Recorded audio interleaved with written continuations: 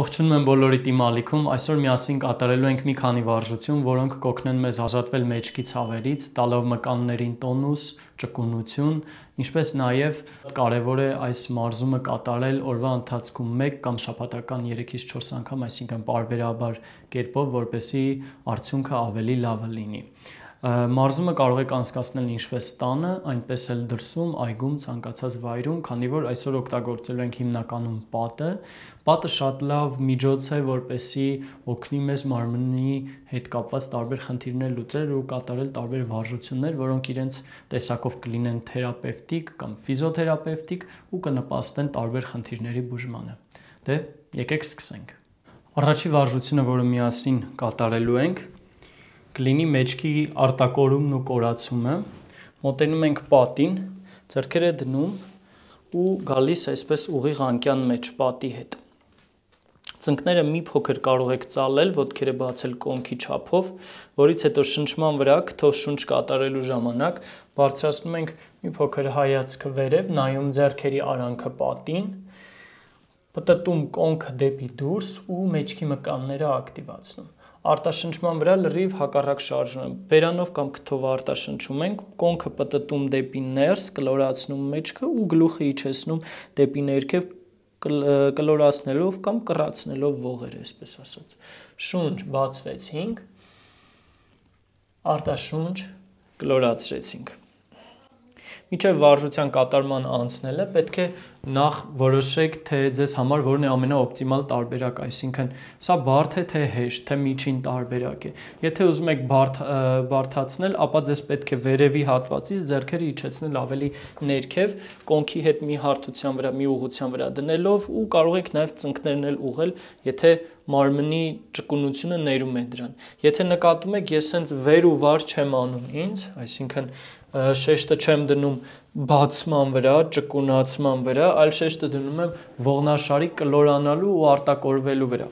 Դրա համար ձեր ձեզ անհրաժեշտ է ոչ թե ձեզ սեղմել դեպի ներքև կամ իջնել դեպի ներքև, այլ մնալ մի քիչ բարձր ու կլորանալ եւ արտակորվել։ Եթե բարթաշարժումը, ապա հակառակը ձեռքերը դնում ենք ավելի բարձր ու սկսում այսպես տեղում կլորացնել ու արտակորել, որից հետո պրոգրեսիվ կերպով, այսինքն զարգացնելով քիչ-քիչ ձեռքերը իջնում են ավելի ներքև։ Եկեք կատարենք 20 անգամ միասին գտեք ձեր համար օպտիմալ կետը, որտեղ որ ձեր համար միջին կլինի աշխատանքը, ոչ թեթև, ոչ էլ շատ-շատ ծանր, հանգիստ, որպեսզի կարողանաք տեխնիկապես էլ ճիշտ կատարել։ Այս ներքև իջած վիճակից մի փոքր մեզ բարձր ենք պահում ու սկսում ենք կլորանալ եւ արտակորվել։ Շունչ նայեցինք վերև, ձգեցինք մեջքի մկանները, փորձեցին կոնքը վեր տալ, նստատեղը վերև ձգել, արտաշունչ հակառակը։ Փորի մկաններն ենք ձգում ու բերում ենք մեզ դեպի ներս։ Շունչ բացվում ենք, արտաշունչ փակվում։ Նորից շունչ բացվում, արտաշունչ փակվում։ Ավելի շատ շնչի ժամանակ երբ որ խորը շունչ եք կատարում կտով, փորձեք հենց այդ ժամանակ մեջքի մկանները կծկել ու շեշտը դնել բացման վրա, ոչ թե փակման վրա։ Փակվելու process-ը շատ հեշտ է։ Ուղղակի թույլատնում ենք մեզ արդեն կլորանում է մեջքը, բայց բացման process-ի համար ձեզ անհրաժեշտ է մեջքի մկանները ակտիվացնել, այնպես որ շեշտը դրեք հենց դրա վրա, որպեսզի մեջքը լավ բացվի։ Այստեղ հնարավոր է ընթացքում մի քանի անգամ անելուց հետո զգաք ոնց է մեջքի մկանները կարծես այրվում, տաքանում ու ցավում ինչ որտեղ մի փոքր դա լավ նշան է դա նշանակում է մեջքի մկանները աշխատեցին ու կտան իրենց համապատասխան արդյունքը։ Հիմնականում զգալու եք ավելի շատ մեջքի գոտկատեղային հատվածում, որտեղի վրա որ մենք շեշտը հենց դրել ենք, քանի որ ավելի շատ գոտկատեղի հատվածում է լինում խնդիրները։ Եվ վերջինը՝ շունչ եւ արտաշունչ։ Ու մի մի այսպես ասած նեղվեք այդ զգացողությունից, եթե զգաք, որ այսպես լավ տակացել է, արդեն սկսում եք ցավով կատարել վարժությունը, բայց ոչ թե ցավով, այլ ոչ թե այն բութ ցավով, որը սովորաբար լինում է, այլ այն ցավով, որը որ մկանային աշխատանքի հետևանքով է ստեղծվել, ու որպեսի ես չմանրամասնեմ ինչի պատճառով է այդ ցավը առաջանում, ու ինչ process-ներ են առաջանում, որ այդ ցավը լինում է, ապա այսպես կարճ ձեզ ասեմ, որ դա շատ լավ զգացողություն է, դա շատ լավ նշան է, որ ձեր մկանները աշխատել են, ինչպես որ դուք կբարձրանաք աստիճան, որ ոտքերը կհոգնեն, այնպես էլ անում եք մեջքի վարժություն, բնական է մեջքի մկանները պետք է լարվեն ինչ որ չափով, որպեսզի ձեզ ազդակ տան, գիտես ինչ կա, ես աշխատել եմ, արդեն կարելի է մի քիչ հանգստանալ։ Ու դա շատ լավ նշան է։ Հանգստանալուց հետո կարելի է այս վարժությունը 2-3 անգամ կրկնել։ Եթե ունեք ողնաշարային խնդիր, կրկնեք շատ մի ծուլացեք, որովհետև հենց այս վարժությունն է ձեզ օգնելու կոնկրետ ողնաշարի գոտկատեղային հատվածում գտնվող տարբեր խնդիրներ բուժել ու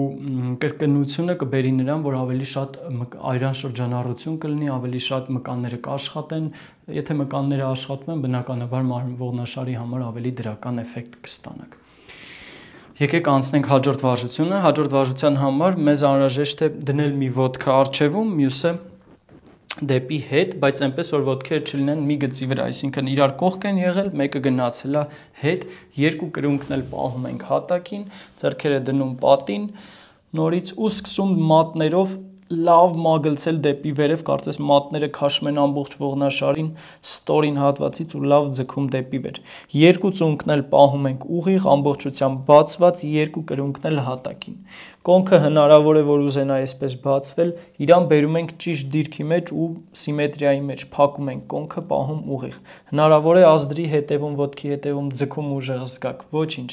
կարող եք դա հեշտացնել գալով մի քիչ դեպի առաջ կամ եթե ոչինչ չեք զգում ուզում եք բարթացնել հակառակը գնում ենք դեպի հետ լավ դիրքը ըստ յոգայի կոչվում է պրասարիտա պադատոնասանը բայց սա մի քիչ մոդիֆիկացված տարբերակն է, որը մենք կատարում ենք պատով ու ավելի հեշտ տարբերակ է, հա։ Հետևում թաթը չկարողանալու դեպքում 90 աստիճան պահել ուղիղ առաջ ուղված։ Կարող եք թեքել կրունկը մի փոքր դեպի ներս, բայց դա չպետք է ազդի կոնքի բացման վրա։ Գտնում ենք մեր դիրքը, որտեղ որ կարողանում ենք ճիշտ պահել ու սկսում ենք քթով շնչել ու արտաշնչել կամ քթով կամ բերանով։ Երկու տարբերակն էլ կլինի նախորդ վարժության դեպքում նույնպես արտաշունչը կարող եք բերանով, բայց շունչը ցանկալի է քթով։ Ցանկալի չէ, այլ նաև պարտադիր ինչ որտեղ պահում ենք մի քանի շունչ, Այստեղ կարող եք ձեզ թուլացնել, քիչ-քիչ իջնել կրծավանդակով ավելի ներքև, եթե այնտեղ շեշտը դրել ենք մկանային ձգ ուժի վրա, այստեղ ավելի շատ ճկունության վրա ու ցավի կետը ցրելու, ազատելուց վրա ենք դնում շեշտը ձգելով մկանները։ Փոխեցինք կողմը, դրեցինք մյուս ոտքը առաջ։ Հա, իդեպ ասեմ, որ այս նույն վարժությունները դուք դրսում կարող եք կատարել վազքից հետո կամ ծառի հետ կամ դուրս եք եկեք քայլելու, մոտեցեք մոտակա հարմար կետին ծառի վրա կամ որտեղ որ ձեզ հարմար կգտնեք, դրեք ձեռքերը ու սկսեք բացվել օգտագործեք ձեր ժամանակը ճիշտ ու հետո կզգաք թե այս վարժությունից հետո ինչպես է ձեր շնչառությունը կրծավանդակը բացվում լավ։ Մի քանի շունչել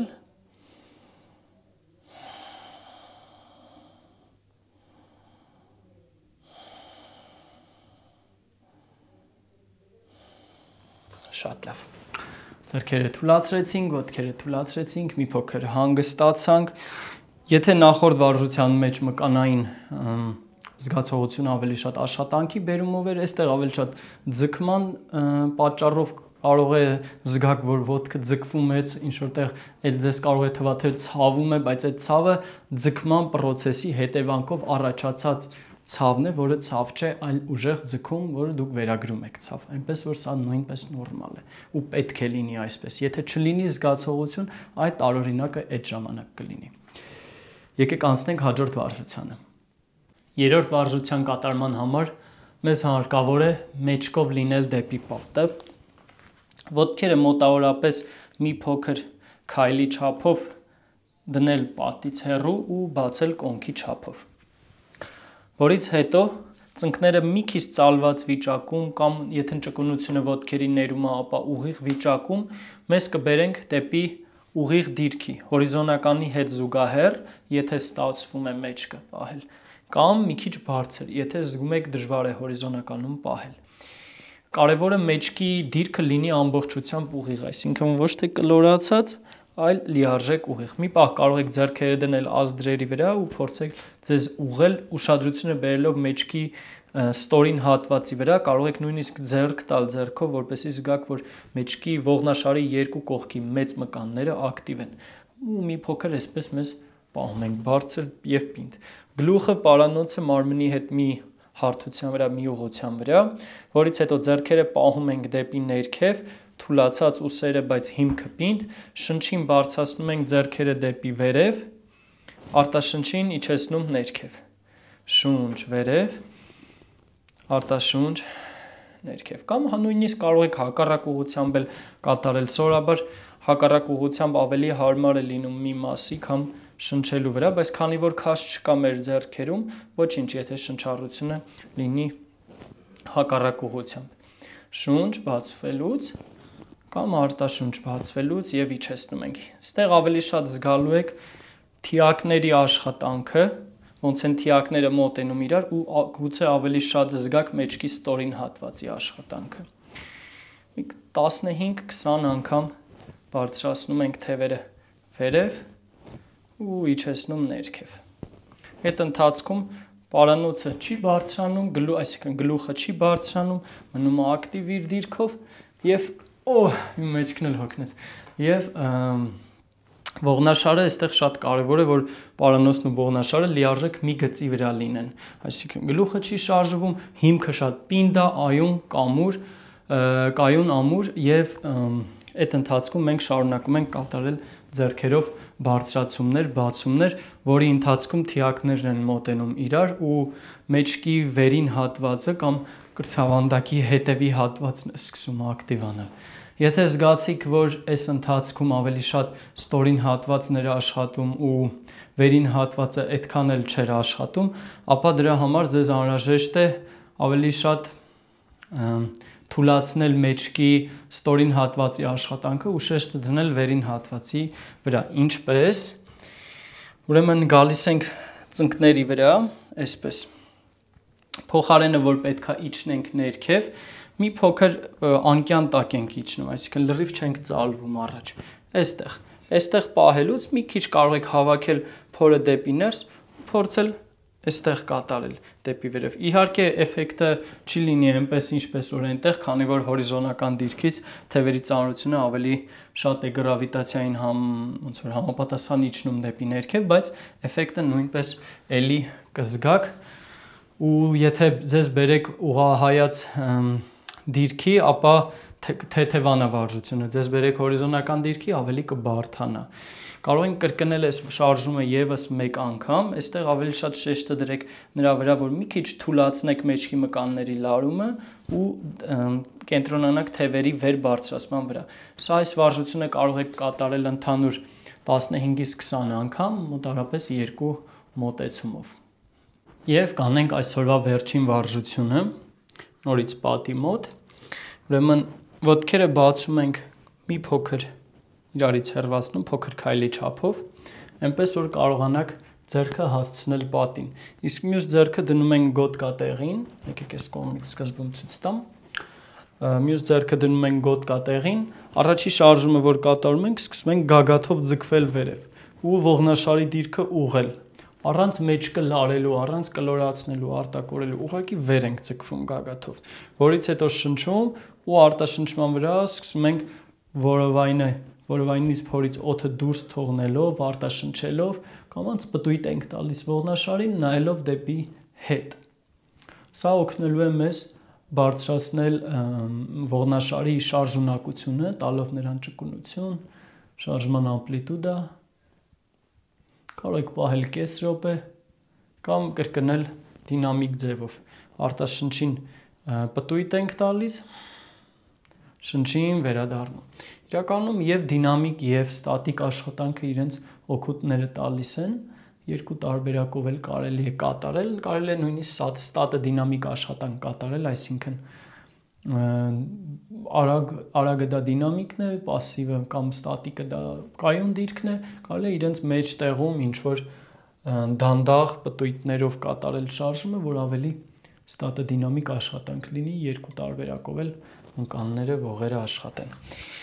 10 անգամ կարող եք պտույտ տալ կամ 30-ից 40 վայրկյան պահել ու որից հետո կրկնել մյուս կողմի վրա շարժումը։ Նորից գագաթով լավ վերև ենք ձգվում, արտաշնչման վրա պտույտ ենք տալիս ողնաշարին ու փորձում նայել դեպի հետ։ շեշտը դրեք եւ կոնքի պտույտի վրա մեջք, այսինքն կներեք, այսինքն մեջքի ստորին հատվածի պտույտի վրա եւ մեջքի վերին հատվածի պտույտի վրա։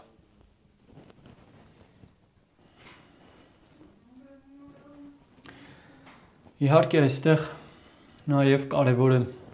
կթով շունչ, արտաշունչ կատարելը, որը օգնում է մեզ պտույտ ավելի խորը անել կամ հանգիստ անել այդ process-ը։ Առհասարակ շնչառությունը շատ է օգնում ցանկացած վարժության ժամանակ իր վարժության էֆեկտիվությունը բարձրացնելուն կամ նրան, որպեսի շատ մեծ ցավով չկատարեք այդ վարժությունը, այսինքն շնչառությունը օգնում է բերել կառավարում մտքի ու մարմնի միջև։ Այնպես որ մշտապես ուշադիր եղեք ձեր շնչառությանը ու հիշեք, որ շունչը ցանկալի է միշտ կատարել քթով, իսկ արտաշունչը կլինի քթով թե բերանով, դա արդեն ավելի կախված է թե ինչ ինտենսիվության մարզում եք կատարում։ Իհարկե վազորդները շատ ժամանակ կատարում են բերանով շունչը, բայց առողջության նկատառումներով ավելի ճիշտ է քթով կատարել շունչը։ Եղեք առողջ, եթե ունեք խնդրահարույց հարցեր, որոնք կապված են մարմնի տարբեր հատվածների բուժման հետ կամ կապված են ողնաշարի դիրքը ուղղելու, ճկունությունը ակտիվացնելու կամ այլ հարցեր, որոնց դեպքում ես կարող եմ ձեզ օգնել, ապա կարող եք ձեր կոմենտները թողնել ներքևում, մեկնաբանությունների բաժնում, կարող եք նաև հետևել իմ ալիքին, սեղմել զանգակի նշանը, ուղարկել իմ edge-ը ձեր կամ այս վիդեոն ձեր ընկերներին ու կիսվել նրանց հետ այս վիդեոյով, որը նույնպես կօգնի նրանց լինել ավելի առողջ եւ տարին սկսել ավելի ակտիվ, ուղիղ եւ տոնուսով բարձր։ Շնորհակալություն, հաջողություն։